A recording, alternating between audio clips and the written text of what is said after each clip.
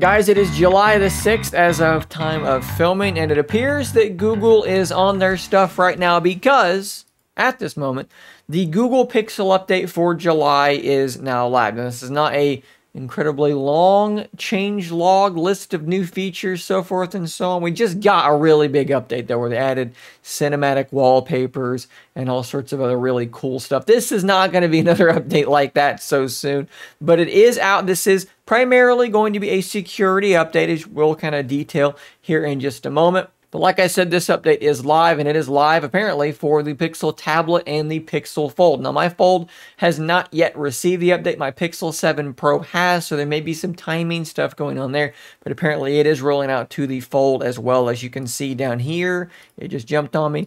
As you can see, Pixel Fold and Pixel Tablet are both included. If we scroll down, the 2023 July update includes bug fixes and improvements for Pixel users. So here's kind of the bug fix section of it. So this is in addition to however many 24, 25, 26 little loopholes and sort of security problems that they've discovered every month.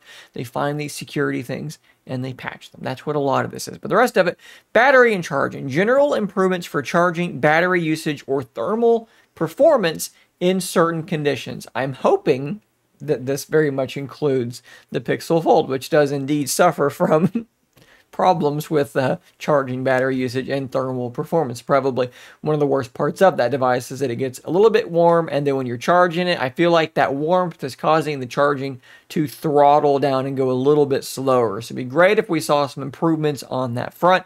There's also a fix for occasional causing lock screen notification text to display behind unlock UI elements. This is not something that I've seen, but I can imagine this would be very annoying. So your unlock uh, screen notification text is displaying behind things. You can't read it. That would be a little bit annoying. So apparently this is something that is in fact being addressed. Like I said, in addition to all of the security patch stuff that is going on behind the scenes.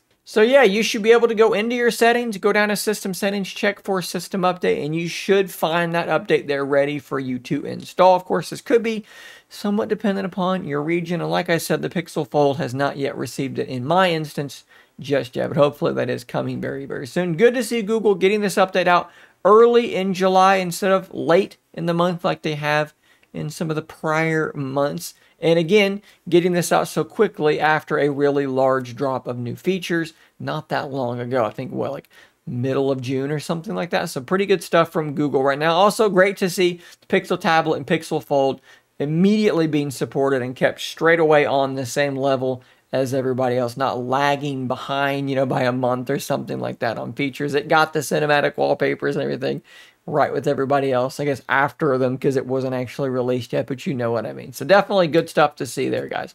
So there you go. Go get that update downloaded. And if for whatever reason it's not downloading for you and you don't want to have to wait, there's a video in the description about how to download it manually and sideload it if you want to go that route. I'll see you on the next one. And until next time, stay nerdy, my friends.